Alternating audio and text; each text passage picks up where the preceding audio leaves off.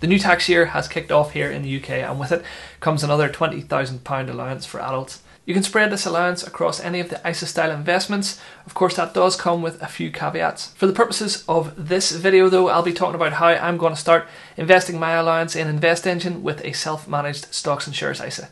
And before we go any further, I just want to say this is not a sponsored video. These are my thoughts, my opinions. This is my experience with Invest Engine. This is what I want to talk about today. I'm going to talk a little bit about why investing with a stocks and shares ISA could be hugely beneficial in the long run. I'll tell you why I chose Invest Engine as my platform over all the other options out there. I'll also show you the kinds of things that I am investing in today. And right at the end too, I'm going to show you how easy it is to invest with Invest Engine for a hassle-free life.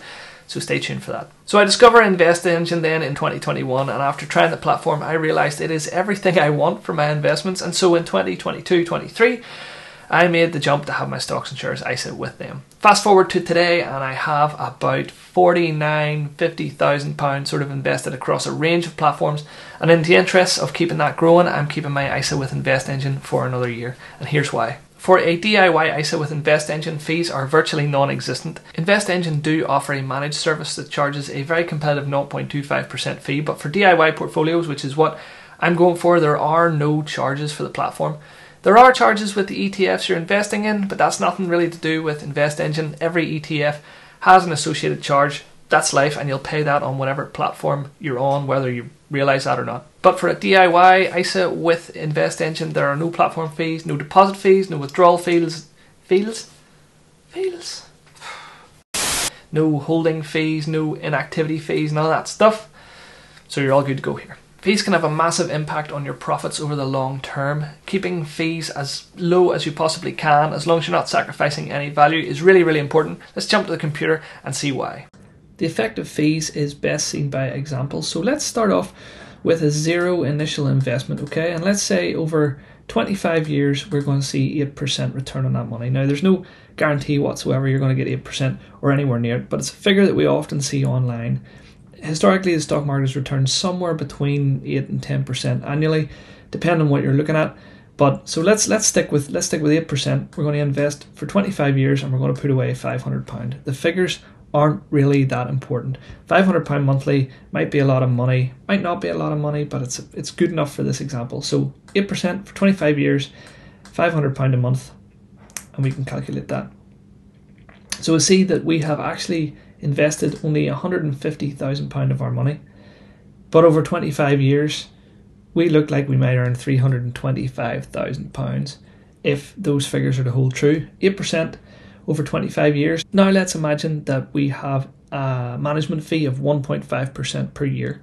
So it doesn't sound like an awful lot, but you might be surprised at the figures. So let's cut this 8% down. And considering we have a 1.5% management fee, we're now sitting at 6.5% for the interest. Uh, 25 years, again, same £500 a month. Uh, again, it's just illustrative figures, so let's see what that turns out at. So we can see again it's the same amount of deposits, 150,000, but this time the interest earned is only two, 224,000 pounds, whereas without the management fee we were getting 325,000.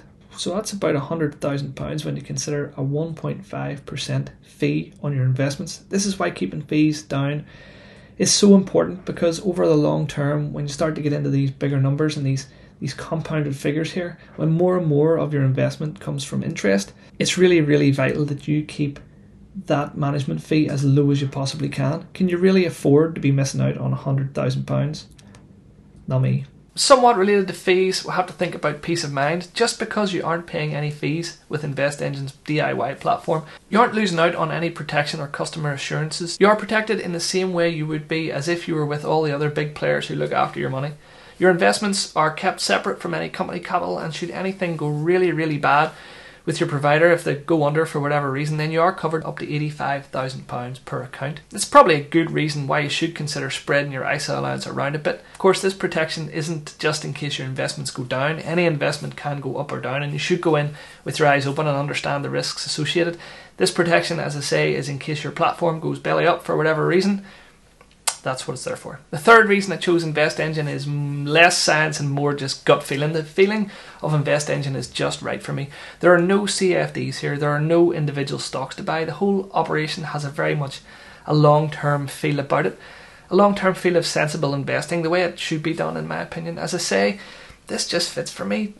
Tons of choice for ETFs. These wee baskets of stocks that offer instant diversification are central to what Invest Engine are trying to do to get folks interested in long term investing. You're not really going to find anything here that caters to rampant speculation or whatever the new hotness is, just realistic, low cost investing, very much in the same vein as the granddaddy of all the investing platforms, Vanguard, except there's no 0.15% platform fee here. There's a little bit of science for you. Depending on what you're investing in, it could be 0.15% cheaper to do it with Invest Engine. Here's a little bit more science. Buying funds, various global funds in particular, is good for me because I can't beat the market. What?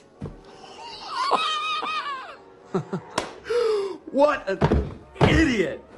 Oh, what a loser! 85% or something like that of fund managers cannot beat the market long term. What on earth is going to make me think that I can?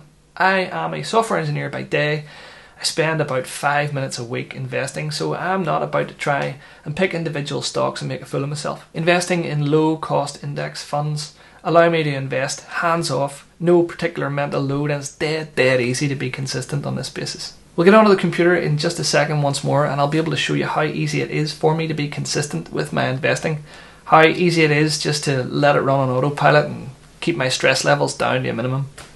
Invest Engine also have a fresh user interface and a really easy to navigate website and app. You can see all the information about your investments, where they are in the world, what sectors you're invested in, how much your portfolio is allocated to particular stocks, just at the touch of a few buttons. It's really, really, really good, really smooth. Fractional shares that Invest Engine offer are another big thing. It means I don't have to have the right amount of money to invest in a particular ETF.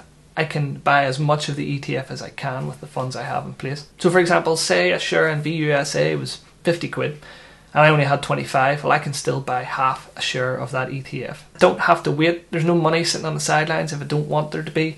You can get as much money investing and working for you as quickly as you want to. So if any of that sounds good to you and you want to give Invest Engine a try, you can use my link in the description below to get yourself £25 bonus when you invest at least £100 for at least 12 months. This offer isn't available on their general website. You do have to go through an affiliate link, one such as what's in my description. You'll get a little bit extra. I will get a bit of kickback for referring you as a new customer to the platform, and everybody's happy. Just once again, appreciate what you're going into. Your investments can go up or down. You may get back less than you put in. Okay, you've waited long enough. Let's just get onto the computer and we'll see what I am investing in here. Okay, here we are on the Invest Engine website. You can see here that I'm just sitting over £11,000 in my portfolio, my DIY portfolio at the moment. This is the entirely free version. Um, I manage it myself, I pick my own ETFs, I move things around if I want to. I haven't yet, might do in the incoming year. So here we are in the main portfolio screen. So the things I'm invested in here. My portfolio is made up of four ETFs: a Vanguard FTSE Developed World, Vanguard S&P 500, a Vanguard FTSE 100, and a Vanguard FTSE All World High Dividend Yield. So the breakdown is basically 30%, 30%, 20%, and 20%. That means if I throw a thousand pounds into this portfolio for sake of argument, then 300 will be allocated to the developed world, 300 the S&P 500, 200 for the FTSE 100, and 20% of that 200 pounds would go to the all world high dividend yield. It's a little bit like an investing pie. If you take a deposit and you put some money in, then Invest Engine is going to split that up into the allocations that you have previously set. Something else worth seeing on this homepage here, if we have a net contributions toggle, if we click this, we get a little line and you can see whereabouts um, your net contributions were. So at the moment, just sitting slightly above what I've contributed. We all know it's been a pretty tough year in global stock markets um, I'm not worried about what's happening this year. This is all about what's happening in 10, 15 years' time as we get that investment growing and that compounding happening and so on and so forth. So these are the four main ETFs that I am interested in investing in today. When you smash those all together, Invest Engine can tell you exactly whereabouts your stocks are geographically, what sectors you're in, and the holdings that you have, probably most interestingly. Let's have a look at that. The simplest way to do that is just to click on this analytics button here. It's going to take you into the uh, details of everything that you're holding. So this DIY uh, self-managed ISA here, you can see 58%, 59% is allocated to North America, around 20%, 19%, 20% for the UK, uh, Europe excluding the UK, Japan, Asia excluding Japan, emerging markets, and so on down the road. We are entirely invested in equities here. No uh, bonds, no alternatives, no no cash at this point in time. Sectors the same. You can get all the information there on the sectors. The Holdings is probably the most interesting one. People want to know what they're investing in. So 3.2% of my entire ETF holdings is made up of Apple, then Microsoft, Royal Dutch Shell, AstraZeneca, Alphabet, Google, Unilever, all the way down, and there are actually uh, 2,000 686 holdings in my ETF, so pretty broadly diversified, although still pretty heavily weighted towards America and the developed developed world. Of course, some of those stocks are dividend paying stocks, and so when that happens, the dividends automatically end up in your Invest Engine account. I have Auto Invest on, and what that basically means is that anytime cash lands into my account, it's automatically distributed according to the weights that I have previously set up. That's pretty handy. You can take that one step further with the automation and you can actually set up uh, monthly top ups. So if you get paid on a given day of the month and the first thing you want to do is invest, you can set that monthly top up on, and from there you can add your account regularly. It's dead, dead easy, and you can choose a date that suits you. So if you're talking about consistently investing, ignoring the noise, this is a really good way to go about that. I actually quite enjoy moving money into my investment accounts most months, so I don't do that. I do have auto invested um, available cash because I don't want any money sitting around if it's been given back to me in the form of dividends or anything like that. But in terms of monthly deposits, uh, I'll probably deposit different amounts each month depending on what's going on with the rest of my life. So I leave that switched off. But it's a great way to just set it and forget it, and you're you're flying. All right, I have some money to invest this month, so I'm going to click on this invest button. Hard to miss and at the moment, I don't actually have any pending cash lying about in this. So what the first thing I'm going to have to do is add some cash. And it's going to take me off to my bank account and we'll get everything sorted out. I'll see you in just a couple of seconds. Two seconds later. Excellent. So the money's in. You can see there now that there's 500 quid in this DIY cash account. So what I'm simply going to do is uh, review this order. And we are going to buy based on the weights that I have allocated. So this my 500 pounds is going to be 150, 150, 100, and 100. We got a little bit smaller. Let's see it all at once. Confirm, and the buy order goes through. So that normally happens a couple of times a day, I think, with Invest Engine. But certainly by uh, by tomorrow, that money will be invested for me.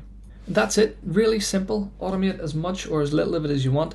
It takes away all that mental load for me, and I'm really, really happy with how it's gone so far. So, if Invest Engine is something you're interested in, why not have a look at how it compares against the granddaddy of them all, Vanguard, in this next video.